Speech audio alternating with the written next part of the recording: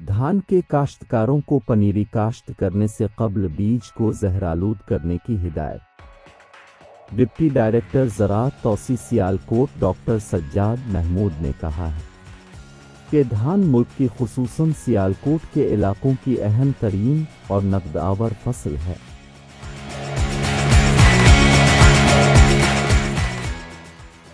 किसान भाई बेहतर पैदावार हासिल करने के लिए हुकूमत से धान की मंजूर शुदा अकसाम बर वक्त काश्त करें।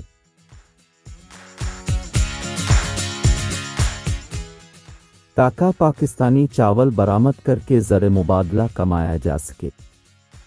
किसानों को हिदायत की कि धान की पनीरी काश्त करने से कबल बीज को जहरालूद ज़रूर कर लिया जाए। ताकि पनीरी बीमारियों और कीड़ों से महफूज रहे।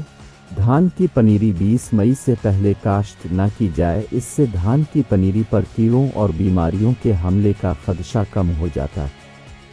और सेहतमंद पनीरी तैयार होती है।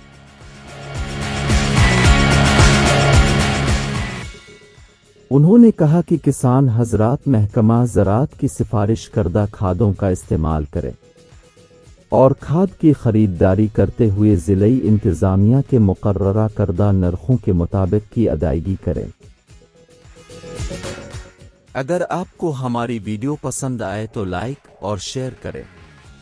हमारे चैनल को सब करें, ताकि अब बर वक्त मजीद मालूम हासिल कर सके। देखने के लिए शुक्रिया। अस्सलाम वालेकुम।